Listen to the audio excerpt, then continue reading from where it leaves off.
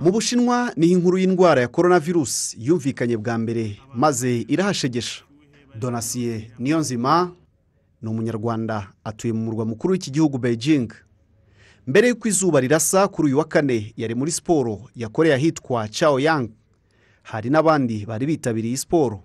Ubusanzwe yari imaze iminsi yaribagiranye kubera korona virusi donasiye niyo nzima arasa n'uwiruhutsa kuko korona virusi imaze gucogora muri iki gihugu.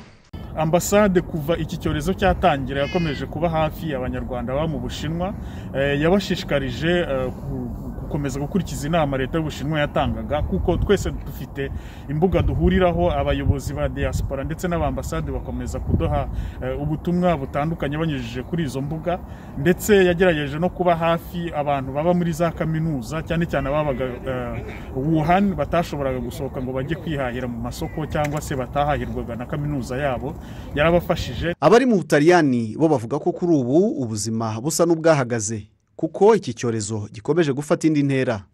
Umunyarwandakazi leoni uwanyirigira aragaragaza ishusho y'uko byifashe. Hano mu butaliyani dufite kominote rwandese duhuriramo puresike twese ababyifuza baduhurira nyine ku rubuga. Buri mu gitondo turamukanya tukabazanya niba muri twe nta barwayi bahari. Kugeza ubu nta muntu n'umwe wari watubwira ko arwaye w'umunyarwanda.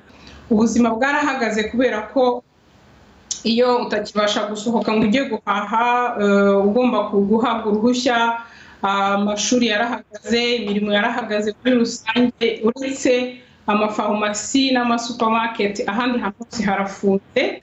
John musine uyobora diaspora nyarwanda muri leta zunze ubumwe za amerika na musoni vedasite uyobora diaspora nyarwanda mu budage bavuga ko kugeza amagingo aya nta munyarwanda muri ibi bihugu barimo uragaragarwaho na korona virusi kandi ngo bahanahana amakuru umunsi ku munsi.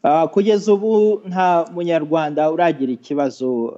Na gato ubu tumaze iminsi dukoresha uburyo bwa conference call duhuza abayobozi bose muri iki gihugu mu ntara makumyabiri na zirindwi. Nta kibazo kinini gihari usibye ko mu mujyi wa yuta ni ho bagize ikibazo gikomeye kuko hari abanyarwanda benshi bakoraga mu ibyo bita bya ski resort izo ski resort zose zikaba zarakinze hakaba hari nk'abanyarwanda basaga ijana kugeza ubu bakuwe mu kazi.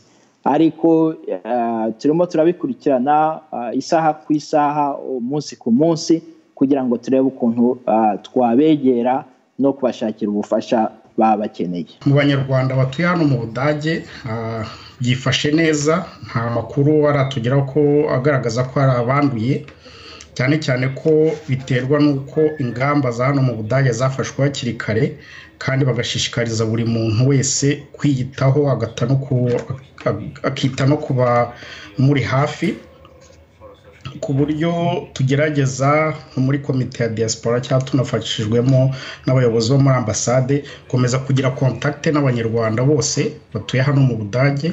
Umuyobozi muri minisiteri y'ububanyi n'amahanga ushinzwe abanyarwanda batuye mu mahanga sandrine mazi yateke avuga ko muri rusange guverinoma y'u rwanda ikomeje gutanga ubufasha ku banyarwanda bari mu bice byose by'isi binyuze mu baruhagarariye. Ibyo kuko hari nka za ambasade zagiye zifungwa bitewe n'amabwiriza ari mu bihugu zirimo jisitoma abadiplomate bacu bari in touch n'abanyarwanda. Donc bagerageje kubibamenyesha hari ndumva mwabibonye kuri za social media cyangwa ku ma emails kubabwira ko ufite ikibazo bashobora nawe kumufasha bari available.